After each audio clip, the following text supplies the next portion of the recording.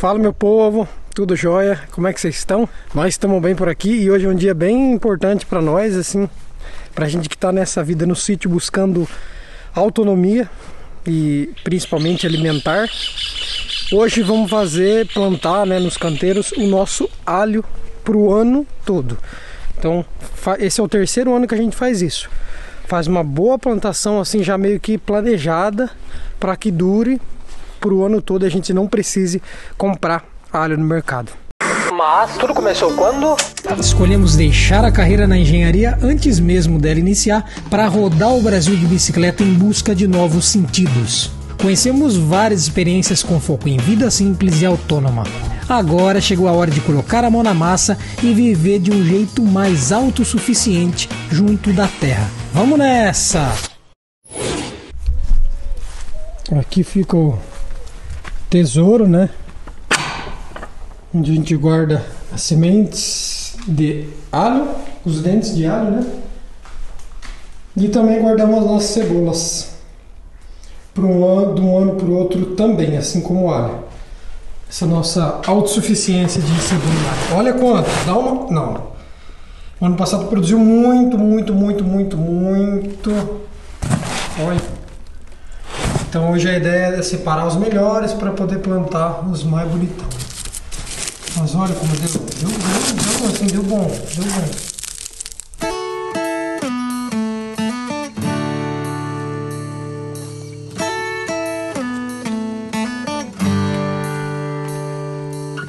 Eu acabei atualizando para a versão Country porque vai, já, já vai começar o trabalho aqui, né? Mas tivemos uma grande boa surpresa nesse caminho porque eu encontrei duas caixas de alho lá naquela dispensa escura onde a gente guarda esse tipo de coisa, né? E tem que ser escurinho mesmo. Só que o Lu já tinha separado outras duas caixas de alho que também estavam lá, só que estavam em outro lugar. E para ele só tinha essas duas. E para mim só tinha essas duas, ou seja, agora nós temos quatro. O chapéu tava assim, tava ótimo, né? É assim, mas assim também fica bom. Então temos quatro caixas de alho, muito alho, dá uma olhada. Essas que o Lu achou que tinha. E aqui, se, dá um, se repara bem, são os alhos mais refugados, assim, não estão tão bonitos. Ó, você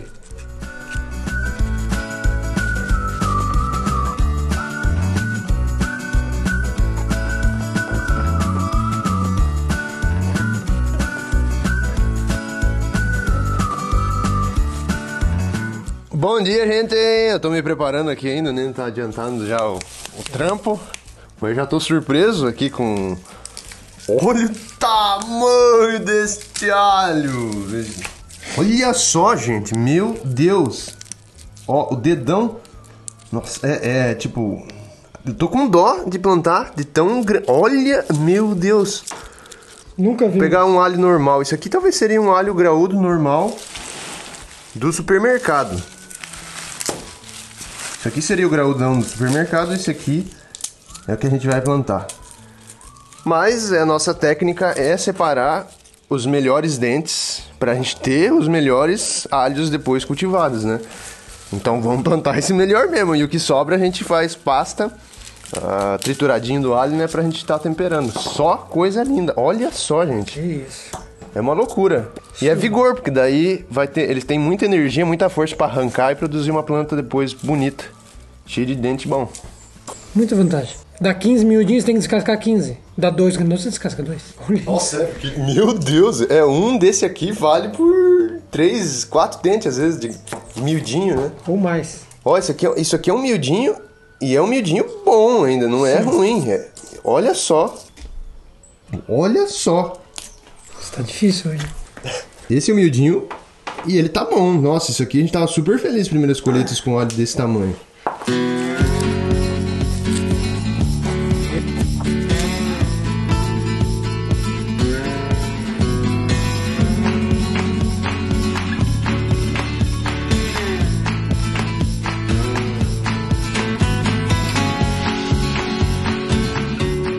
E antes de me juntar aqui ao Nene, no alho, eu vou mostrar pra vocês o resultado dos serviços que a gente tava fazendo nos últimos vídeos.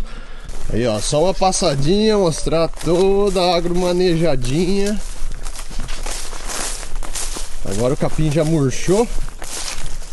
E aí tá bem legal de ver. E eu também terminei essas duas últimas linhas aqui, que era que eu não tinha feito até aquele último episódio. E hoje eu tô surrado, gente, surrado ontem. Fizemos um trampo foda, foda, que eu achei que nós nem ia conseguir. Aí, ó. Podamos essas árvores. Então, aqui, ó, tem mais de 10 metros de altura e faltavam, sim, faltam 5 metros ainda pra, pra árvore estar tá completa, né? Que a gente já derrubou. Isso aqui é uma novidade que a gente vai falar nos próximos vídeos. Ano passado a gente engordou um porquinho, o cofrinho, né? Com as moedinhas lá, pra gente fazer um investimento aqui no sítio. É uma novidade bem legal para compartilhar com vocês. Mas vamos pro alho. Também nos últimos episódios a gente preparou aqui, ó, canteirão do alho da cebola, mas o alho vai ser aqui. Então ele já tá com a terra mexida, tá com adubo, tudo no jeitinho, no mesmo formato que a gente também plantou o alho ano passado.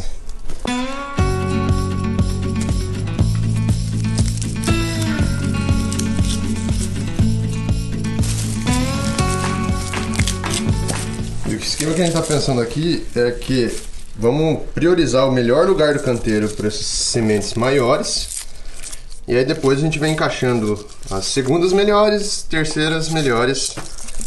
E vamos ver a diferença. Que o resultado do ano passado, gente, nos surpreendeu. A gente nunca colheu alho tão bonito. Tá bexiga contra o alho. Rendeu. Ih, né? Nossa, não foi nem. Nem foi tudo, né? Foi Meu metade, Deus. eu diria. Agora estamos aqui com a balancinha da vovó. Vamos pesar para ter uma ideia de quanto que vamos plantar e quem sabe ver qual a proporção ainda gera de produto final na colheita. Ixi. No baldinho? É. Pode ser, né? Ó, que tem alho velho ainda do ano passado. Ah, bem no passado esse.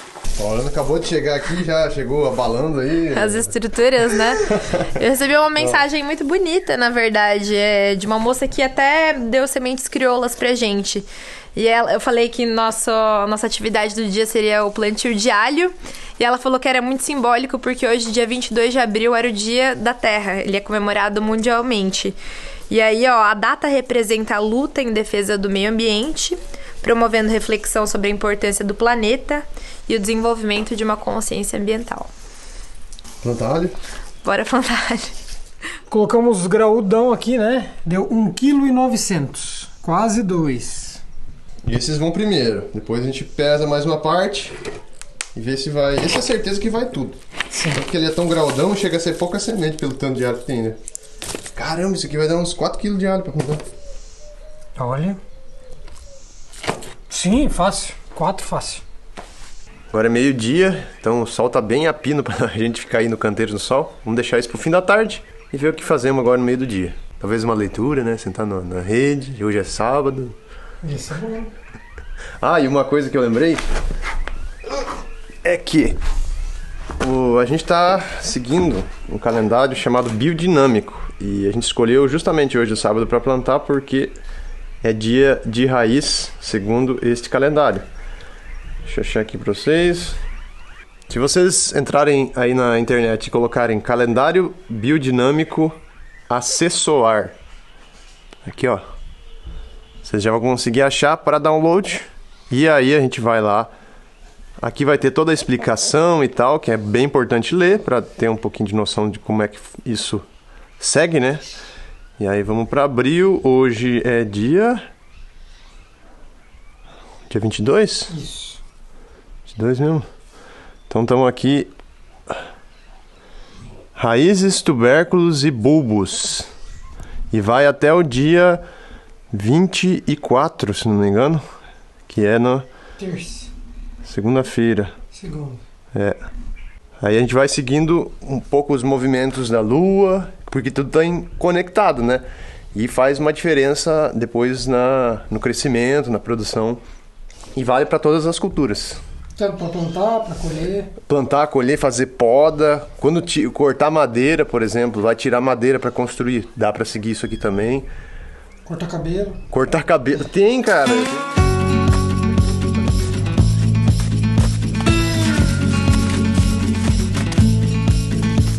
E as bichinhas surpreendem nós, viu? Porque às vezes Tamo no meio da cortada bananeira. Esses dias aconteceu uma que eu peguei na mão isso aqui. Tava atrás da folha pendurado assim. E eu cheguei e tá, quando eu coloquei a mão, pegou umas ferroadas. doída, mas essa ainda que é a menos doída que tem.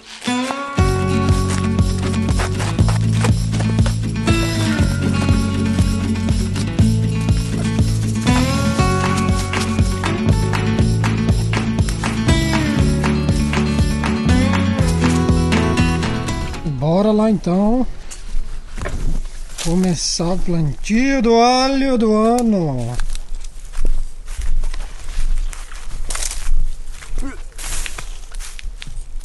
Começar com os graudão.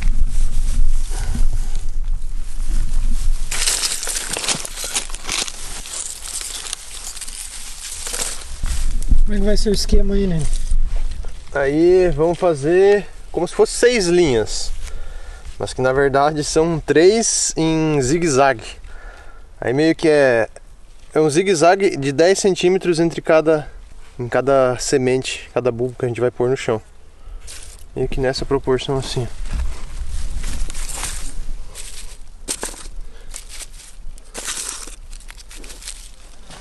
E isso seria uma linha, né? É. No caso, duas mesmo. mas- É, que vai ser. na- em cada fileirinha aqui de estaquinha vai, vai ser um sisteminha desse. Ótimo. Na hora de pôr na terra, tem algum cuidado? Tem, ele tem a bundinha do alho, né? Que fica pra baixo. E o broto sempre sai na parte superior. Tem, eu tenho uns aqui, ó. Esse aqui já tá apontando a brotação dele. E aqui é a parte de baixo. Essa Na parte de baixo é que junta ele na, É, que normalmente na tá cabeça. vários dentes. Isso, vários dentes juntos, né? Eles estão presos por aqui. E aí em cima que eles soltam as brotações. E aí na natureza, né? Se o alho tivesse lá, ele termina o ciclo dele, seca a folha e fica os bulbos armazenados no chão. Aí, por exemplo, aqui passa o verão e normalmente quando ficou às vezes uma cabeça de alho que a gente esqueceu no canteiro, parece que não existiu alho, né? Mas chega, começa o inverno, aí de repente aparece as brotações, fala, ó, mais uma cabeça de alho que a gente esqueceu de arrancar, né? Mas estão lá nessa posição, né? Em pezinho. Então a gente segue a mesma forma.